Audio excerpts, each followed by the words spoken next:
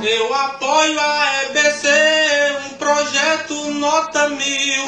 Brasil tem que ter TV e eu quero a TV Brasil.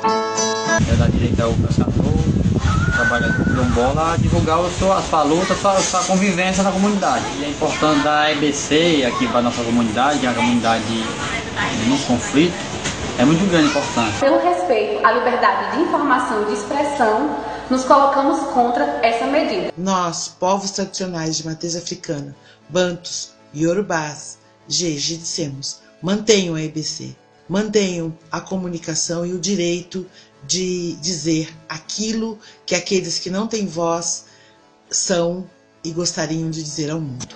Sem a EBC, a Amazônia fica sem a comunicação. Conto com os colegas jornalistas e radialistas de todo o Brasil. A Rádio Nacional emissora responsável pela minha educação. Eu me eduquei ouvindo a Nacional, uma emissora de uma trajetória, de uma importância histórica muito grande para esse país. O que eu gosto da TV Brasil é que é o único canal aberto com programação infantil. Enquanto a audiência houver, telespectador não quer TV Brasil estatal.